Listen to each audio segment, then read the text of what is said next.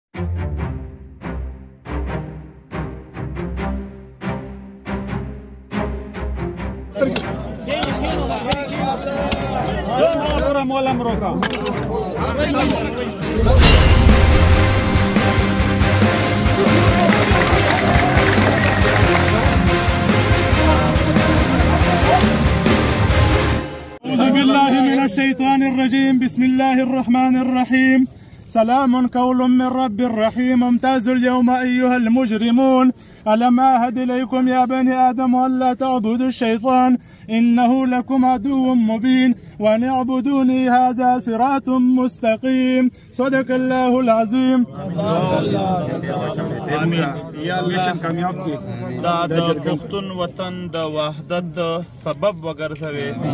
خدای پاک مظلومیت چې ډیر زیات خلک پکې د ژوند نه بیزار شول او داسې مشکلات داسې مصیبتونو سره مخ ول چې نور دوی د ژوند تیرولو اسرا نه لري خدای پاک د دغو ټولو مظلومیت د لرې کولو باعث یې وګرځوي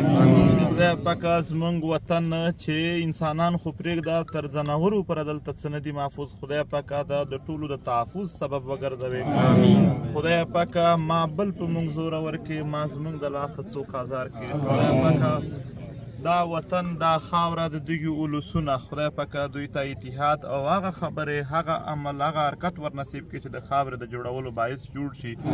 خدای پاک دا د خیبر اولسونه او مشران چې دوی د خپل وطن د یو مظلوم ولس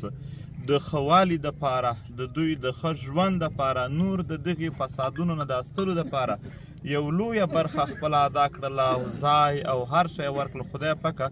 دوی په عمرونو کې خدای پاک دوی په علوم کې خدای پاک دوی په معیشت کې خدای پاک دوی په هر څه چې ژوند ورسره کیږي په هغه هر څه کې برکت واچوي او هغه هر څه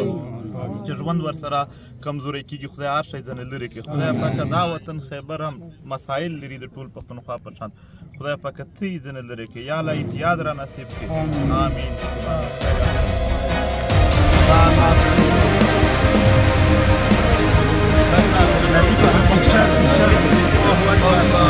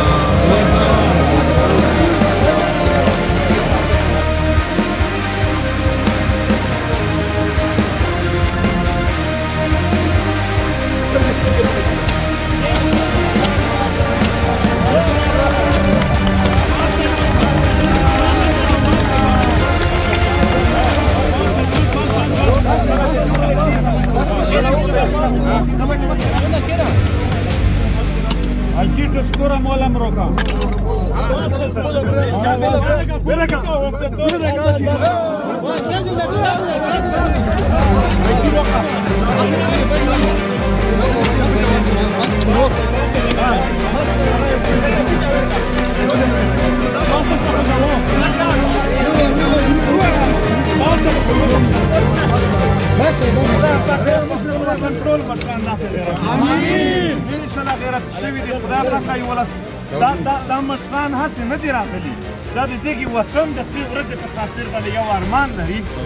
خدای پاکه دا ارمانونه زمونږ د ټولو پوره کړي خدای پاکه دوی په عمرونو کې او په صحتونو کې برکت واچوي خدای اخره ختمه هم په ایمان سره په نن